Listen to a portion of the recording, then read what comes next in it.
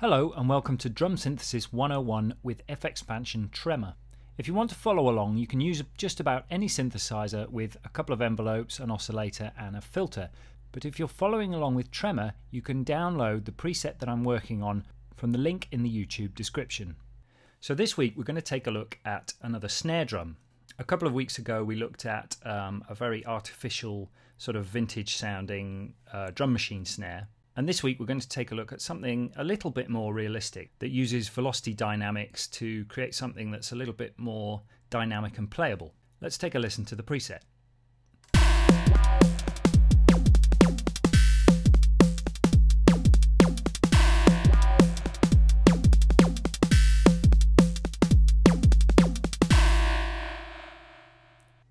And let's take a listen to the snare.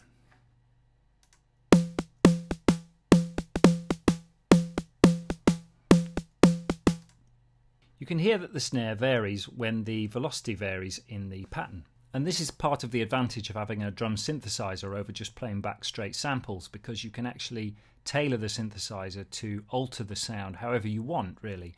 Whereas with samples, you're stuck with a very static sound. So I'm going to reset this sound and we'll program it again from scratch. I'm just going to move the pattern here because when I reset, it's going to delete that. And then I'll move it straight back.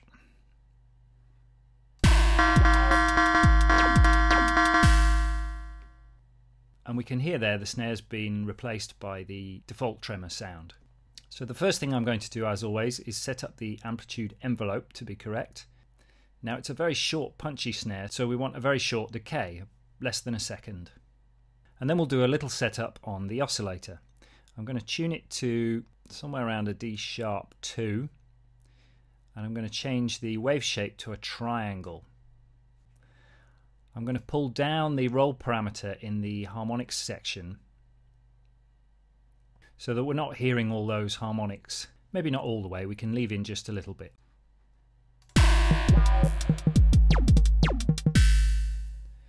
So that gives us the kind of tone and body of the snare, but we'll also need some noise in there. I'm going to pull down the level of the oscillator in the mixer because later on we'll be using an envelope to increase that just for the attack portion of the snare. I'm going to be using quite a lot of pre-filter drive on this patch. So I'm going to give it sort of nearly 20 dB of pre-filter drive.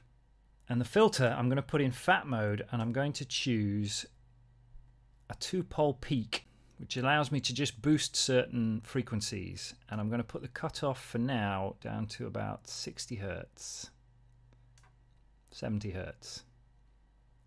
A little bit of resonance to increase the peak amount.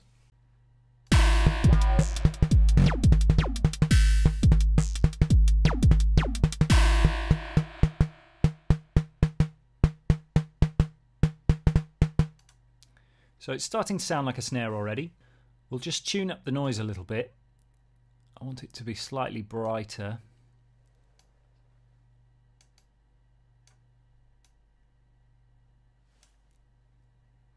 So I've just put the tone up there and reduced the stereo width slightly so it's not a huge wide snare. And what we'll do now is we'll use uh, one of the envelopes, the fast envelope here, to modulate a few things. Now I want this to be a very fast decay. And we're going to use this to create a really sharp attack.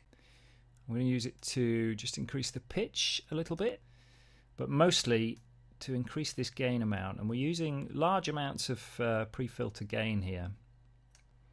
I might even add some on the filter gain itself. Part of the trick with Tremor is knowing when to use these uh, three filter gains here. There's pre-filter gain, there's a gain on the filter itself, which gives a slightly different character to this one.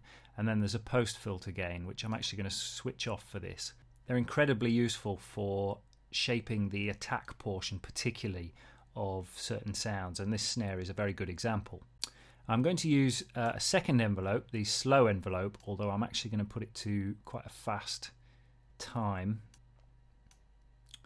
Put a bit of a curve on it. And this one I'm going to use to bring up the volume of the oscillator in the attack portion. And I'm actually going to use it to bring down the level of the noise. So the noise actually will be less prevalent in the attack portion of the snare.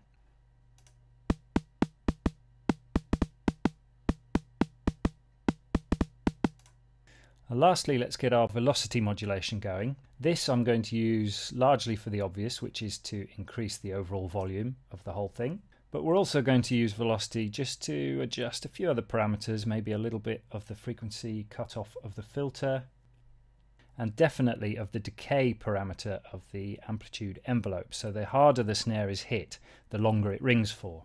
Finally, I might use it just to adjust the pitch slightly, not very much, which is why I'm using the fine pitch of the oscillator.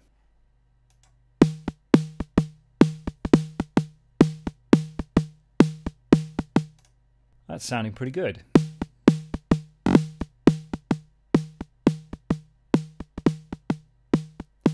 Just bring the level down so it doesn't peak.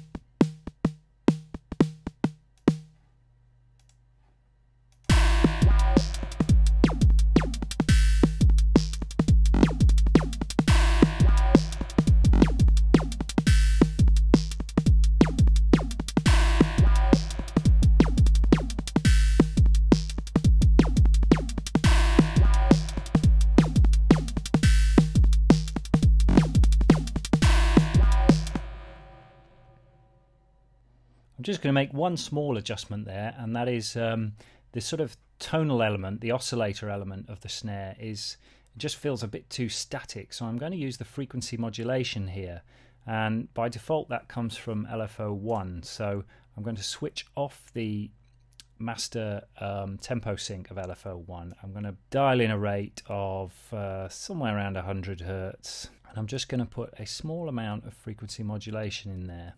Not a huge amount because that'll affect the tone too much.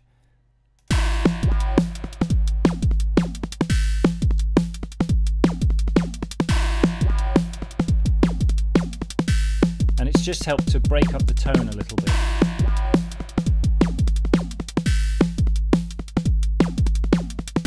And I think that's sounding like a pretty solid snare. Join me soon for another Drum Synthesis 101.